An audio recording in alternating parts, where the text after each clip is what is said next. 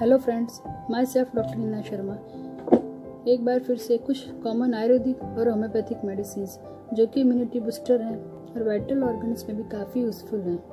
इसके बारे में जानकारी प्राप्त करते हैं। सबसे पहले ashwagandha, withania somnifera very useful for stress and anxiety lower blood sugar level improve sleep male fertility increase muscle strength Next one is Brahmi, Bacopa moiri. It is brain tonic. Very useful for lack of concentration, improve brain function, attention deficit hyperactivity disorder. It is very useful for brain, improve brain power. Next one is Shatavari, Asparagus racemosus, improve fertility in female. Very for female reproductive system. Reduce symptom of menopause. PCOS polycystic ovarian syndrome. Boost milk production during breastfeeding. Very useful for treating cancer in females. It is antioxidant. Next one is arjun. Terminilla regina is heart tonic, useful for high blood pressure, useful for high cholesterol, cardiovascular disease like ischemic heart disease, cardiomyopathy, angina pectoris, congestive cardiac failure. It is very useful remedy for cardiac.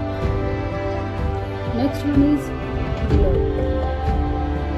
Tinospora cordifolia helps in dengue enhances count of blood pressure, increase WBC and immunostimulation. Next one is neem, Azadirachta indica. It is natural inflammatory drug. Fever, skin disease like scabies, blister. It is very useful.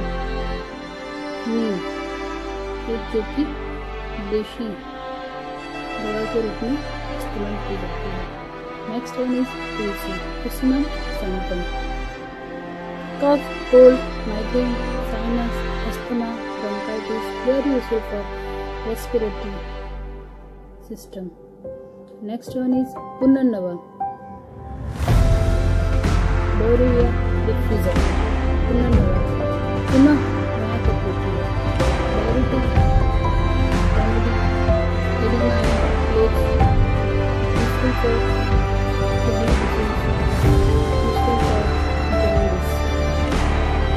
These are some medicines which is very useful for boosted immunity and common in both Ayurvedic and homeopathy अगली बार कुछ नए video के साथ तब तक के लिए गुड बाय